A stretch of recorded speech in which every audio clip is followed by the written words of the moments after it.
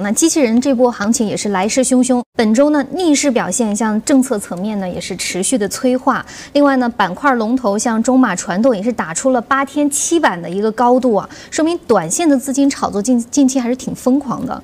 那细分领域呢，已经从减速器延伸到了像传感器呀、机器视觉等等这些细分。目前呢，市场上为数不多的一个强势方向，那机器人能不能它引爆出接下来的一波阶段性的行情呢？老师刚刚说是你。您是关注的哈，那您怎么看待？我是关注，但是我并不认为它是走出一波像特斯拉啊，就是像特斯拉也好，包括像这个英伟达整体这样的一个产业链的一个行情。为什么这么讲？因为它现在还没有进入到一个商业化，一定要听清楚。我们在前期讲到一个主题性投资，尤其是科技投资，我们要关注三个方向。首先要关注有没有巨头的出现。你像这一轮的人工智能，首先巨头是谁？微软带领 OpenAI，这是巨头出现，这是其一。其二有爆款的出现，什么爆款？Chat GPT 人工智能所带来的是什么？整体 AI 服务器的军备的竞赛，所以说这就产生了爆款。好，有没有产业链？有产业链，英伟达产业链，对吧？好了，我们再回看一下机器人。机器人目前来讲的话，仅仅是一个概念性，而且还没有进入到商业化。那么有没有巨头的出现？暂时没有。我们仅仅看到一些概念，比如说马斯克讲到的他的人形机器人，包括我们看到英伟达，我们这个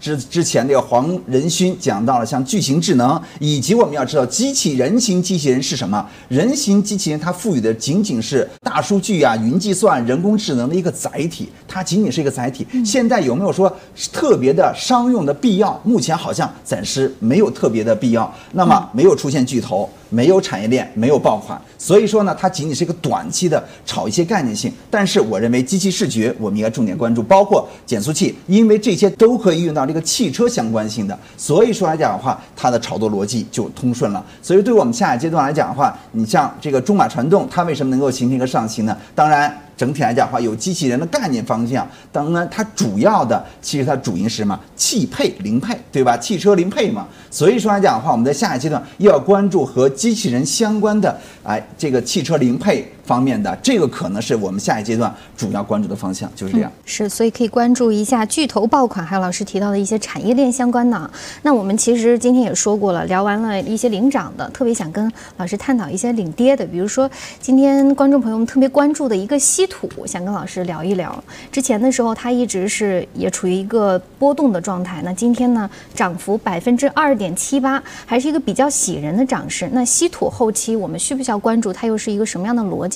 老师，您怎么看待呢？呃，稀土目前我们不要关注啊。为什么这么讲？其实稀土它整体遵循的是一个大周期。什么是大周期呢？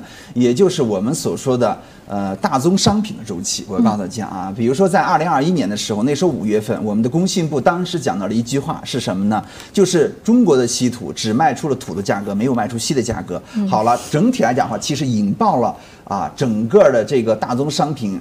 整体来讲，不管是煤炭呀、稀土啊、有色啊，啊，包括一系列的这些小金属啊等等的形成一个上行。那么稀土其实是一个主要的，我们所说，比如说手机用品的啊，相应的一个主要的原料，包括科技原料。那么好，之前形成一个大幅的下跌，其实和。